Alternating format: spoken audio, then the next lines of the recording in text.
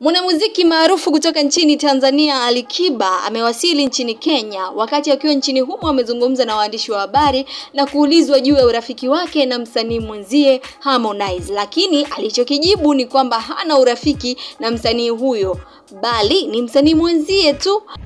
Tuona kisukuma kazi zako. Wala hata sio rafiki yangu. Mimi Harmonize nishakutana naye mara moja na sidhani kama nishakuzungumza naye, lakini vile vile uh, kumzungumzia sababu tuna mazoea, yani ni msanii mwenzangu. Hata hivyo, waandishi wa habari walitaka kujua kama ana mpango wa kuanzisha kampuni ya mchezo wa bahati nasibu kama ilivyo kwa msanii mwenzie Diamond Platnumz, lakini Alikiba alichokijibu ni kwamba dini yake haimruhusu kufanya hivyo, lakini hafahamu juu ya dini ya Diamond Platnumz kama inamruhusu yeye kufanya michezo ya betting.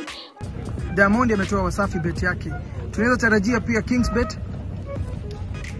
Unfortunately, dini yangu hairuhusu.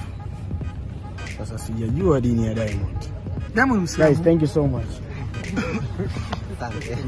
Endelea kutazama Spin Tanzania, bonyeza hayo maandishi mekundu yaliyoandikwa subscribe na kengele ili kupata taarifa zaidi.